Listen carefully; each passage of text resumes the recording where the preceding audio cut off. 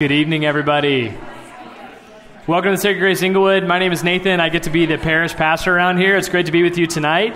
Um, I've got a lot of family in the room. Thank you all for being here from long and far away. Um, and they are all familiar with this story. Many of you are not familiar with this story. Um, my senior year of college, I went to Valdosta State University in South Georgia. Go Blazers.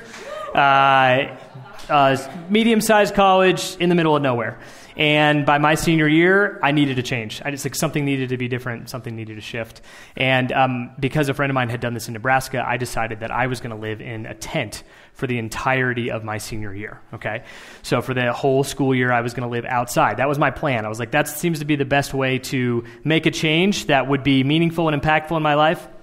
And uh, so I got rid of most of what I owned. I bought a big tent. I had an air mattress. I had like a couple tubs of clothes. I had a couple tubs of food. I had like a stove. And that was pretty much it. I was like, this is going to be simple. This is going to be minimal. This is going to be really, really great. And for the first month, it was actually just terrible because I almost had a heat stroke every single day because in August in South Georgia, it's just hot. It's like 90 degrees at nighttime. Like it doesn't matter if the sun's gone. It's just so, so hot. Then after that, things were great. And for a couple months, it was really great. It was simple. It was easy. It was uh, fun. It was refreshing. And then after a couple of months of that, all of the little small inconveniences and complexities of living outside, as you might be able to imagine, compounded on each other, and all of a sudden, my really simple life became a very complex life. There was a lot of things that just happened all at once, it seemed, that made things really difficult. Uh, for, I'll give you a couple of examples. So, um, I had found this guy in our church who had some property in the middle of town where I could pitch this tent and I could live on his property. I don't know why he didn't say no when I asked him, but he didn't. So, um, I, the problem was I had to walk across this horse pasture every single day to get to and from my car or my bike or whatever I was parking there to get to my tent. And um, because there's a lot of poop and mud in a horse pasture, I didn't like walking through that with my shoes. So I left like a pair of rain boots by this fence post, and I, I would put them on and walk, you know, for, to and from my tent. This was the sort of thing that I was trying to sort out my senior year of college. Anyway, um, one day I showed up and I put my feet, I, had, I was wearing sandals, so bare feet, into my rain boots, and I would say somewhere between 12 and 15 slugs had found their way into I almost amputated my foot. It was by far the grossest thing that I've ever experienced in my life, putting my bare foot on top of a whole bunch of slugs and just smashing them into this boot.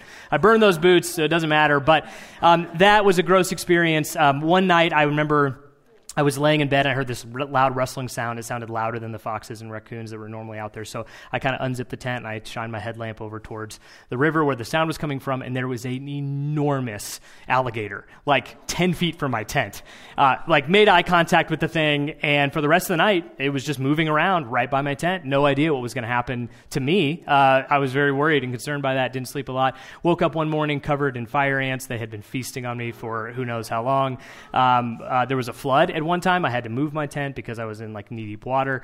Um, I, one morning I woke up to gunshots. Sometimes in this neighborhood I wake up to gunshots, but it's because people are shooting at each other, not because this guy who owned this property decided to kill an animal uh, near my tent. Did not tell me about that ahead of time.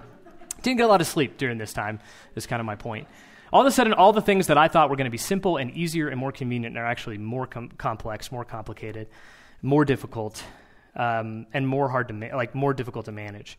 And I think as part of the reason is because we think that the simple life or the more minimal life, the life where we have less stuff, is going to be the thing that delivers simplicity to us. But in reality, the things that we choose sometimes for that are actually just make things less convenient, and sometimes less convenience may, means uh, complexity. Uh, we're going to talk a little bit tonight about how simplicity is a prerequisite for healthy generosity. Last week we talked a little bit about how gratitude is a prerequisite for healthy generosity, and um, tonight we're going to talk about how simplicity, a real simplicity, not a simplicity that's like masquerading or a complexity that's masquerading as simplicity, but a real simplicity.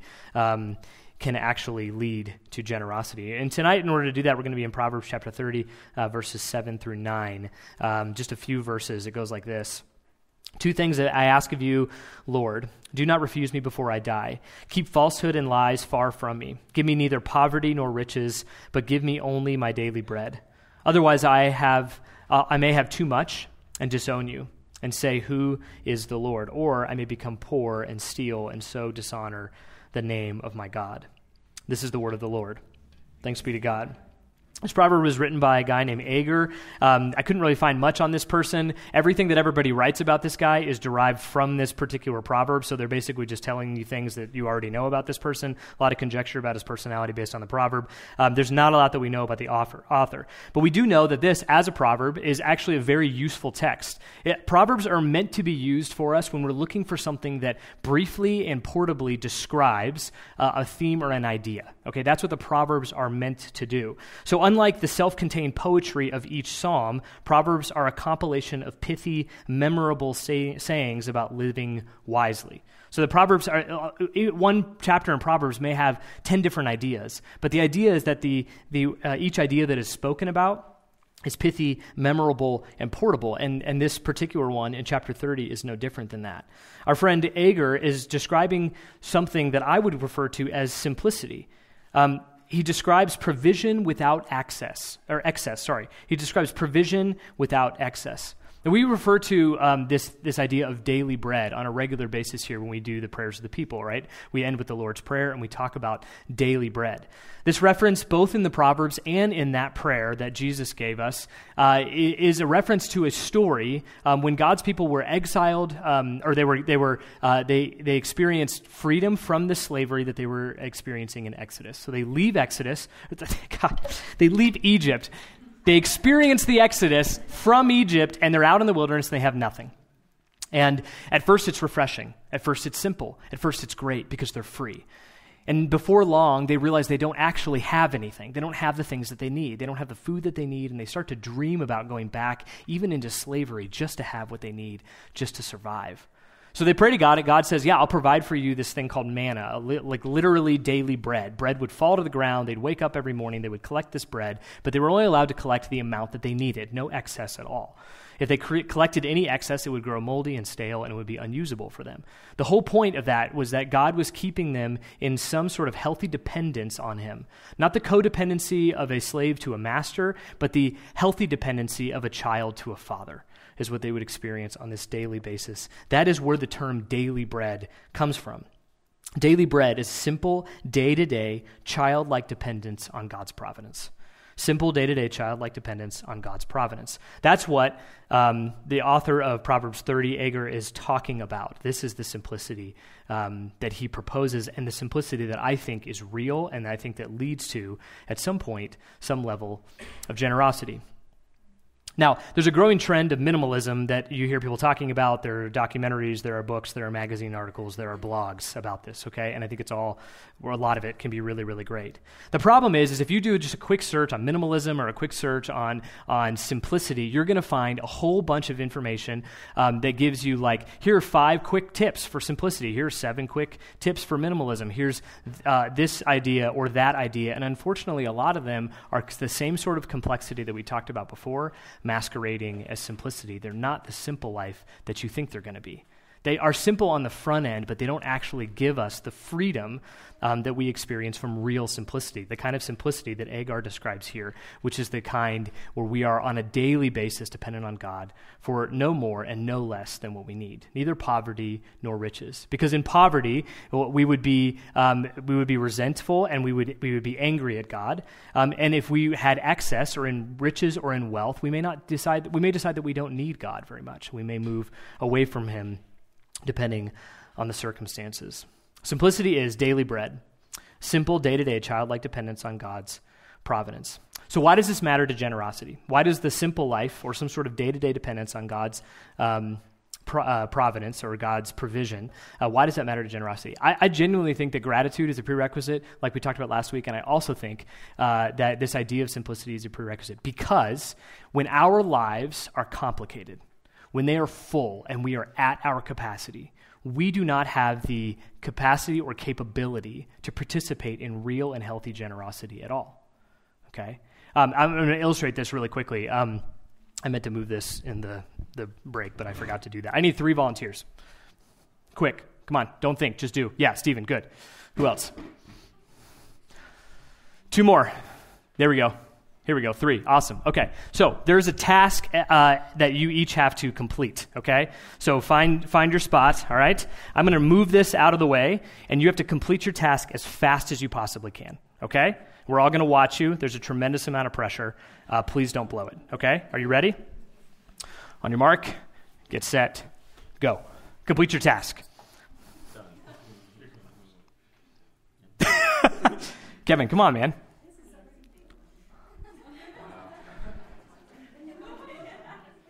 Do you guys want to help Kevin? This is pretty hilarious. Yeah. okay, you're just going to watch him suffer? Okay. Okay, you made my point. Thank you. Go ahead and have a seat. Okay, great job, volunteers. Okay, here uh, we have a puzzle that makes noises, which is very cute. Okay, very simple farm animals. Okay, this one's a little bit more complex. This is a barn, uh, a, um, a, landscape, if you will. Okay, a little bit more complex. This is a 500 piece puzzle uh, of a pile of marbles. This was Kevin's task. These ones, uh, well, they were already completed because I did this part wrong, but they would have taken them a matter of seconds to complete because they are for children. This, on the other hand, took Julie and I a really long time to complete when we did it. I can't remember. Um, uh, but, but it's not an easy one. This one's extremely complicated. These ones are extremely simple. When our life is an extremely complicated um, set of rules and uh, do's and don'ts and things that need to get done, our life is full to the brim and we are at our capacity. And I'm going to say something that I'm not sure I've ever heard anybody else say. It's not like a genius idea. I just don't know that we're really willing to go here when it comes to generosity. I think that all generosity is complicated. Generosity is complicated. To choose to be generous is to choose complication. It's difficult. It's not easy. It's hard to step into somebody else's circumstances and to be generous towards them. There's easy versions of generosity, absolutely. But I would say that the healthiest generosity, generosity that has longevity, requires some sort of chosen complication. I'll give you an example. There's this uh, network around our city called the Severe Weather Shelter Network. Some of you are familiar with it. We've talked about it a little bit before here. Um, what they do, and, and they'll be they'll probably um, go into effect tomorrow. But uh, if if the weather is 32 or below and and wet, or 20 below and dry. Uh, the network goes into activation, and lots of churches around town open up their doors for our homeless neighbors to sleep inside. The Severe Weather Shelter Network is literally saving people's lives. We don't have enough emergency shelters throughout the city of Denver, and cities like Englewood don't have any emergency shelters. This is literally the only way for our homeless neighbors to sleep inside on a night that would otherwise kill them. They show up at a, a warming site um, where some volunteers get them some coffee, get them signed up. They go in a bus to a church. They sleep on the floor. They're out of there by 7 a.m. They experience a meal with these volunteers, and there are people who literally stay up all night long um, to make sure that everybody's safe and has what they need. The amount of coordination that it takes to do this around the metro area is insane. I mean, it's absolutely incredible. This woman named Lynn Ann runs it, um, and she's a fireball, and she is an amazing person. And uh, I think she has maybe one of the most difficult jobs I've ever seen in my entire life. I mean, it's an amazing amount of coordination and complication to make this work. This is maybe the most significant form of generosity that I've ever seen anybody participate in, saving people's lives who otherwise would not be able to survive the night. And it is super complicated. And, and maybe there's ways to make it a little bit more simple, but in reality, it's complicated.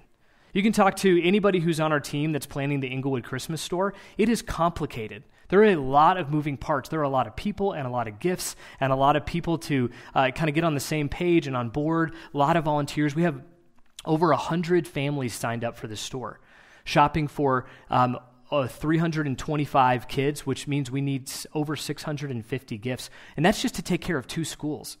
There's more than two schools in the city of Englewood. We'd like to do this for more people. But to say something like we don't want any of the families at Bishop and at Maddox to have to choose between rent and Christmas is a very complicated statement. It's memorable, it's pithy, it's easy, it's portable, it's something that you can take with you and think about, but to, to actually achieve that is tremendously complicated. And if your life is like this, if your life is Kevin trying to put these little pieces that look like marbles together you will not have the capacity, you will not have the ability to participate in real generosity, which requires complication. Real generosity always does. But when, the, when at least some domains of our life, maybe not our entire life, but some domains of our life take on a level of simplicity, Like real simplicity, not this pretend simplicity that only lasts for a little while, but real simplicity, daily bread, a daily childlike dependence on God for provision. That simplicity allows for us to experience the complexity of generosity because real generosity almost always requires complexity. It's not easy, it's not simple, and it's not straightforward. I'd love to say, hey, let's all just be more generous. We say this in our in our generosity prayer every week. We want to increase in generosity. That's an important value to us. I would love to just snap my fingers and say, let's all be more generous. But what I really want for you, what I really want for me, what I really want for our church is to experience generosity with longevity, a real healthy uh, generosity that continues to make an actual difference in the lives of the people around us. And the only way to achieve that is to experience some level of simplicity in our life, which then allows us to take on and to choose the complexity of generosity. There's no such thing as a uh, a meaningful generosity that doesn't require some level of complexity. So, my hope for you is that you would lean into that daily, simple, childlike dependence on God for your daily bread uh, literally and figuratively, that you would have the thing that you need, the things that you need in the rest of your life, so that you can choose the complexity of generosity. Um, a life of simplicity does not negate complexity. Rather, choosing simplicity where you can allows you to choose the complexity of generosity, and that's my hope for you. Um, we're going to end the, the sermon tonight uh, by praying our generosity prayer. Uh, so if you would stand with me, we're going to pray this prayer together. It'll be on the screen. All that we have, we have received from God. We bring nothing into this world, and we take nothing out of it. We choose to follow the way of Jesus and increase in generosity until it can be said, There is no one in need among us. We choose to be faithful stewards of all our resources relationships, time, possessions, and money. We choose to be generous because our Father is generous. And as his daughters and sons, we want to show the world what he is like. Amen.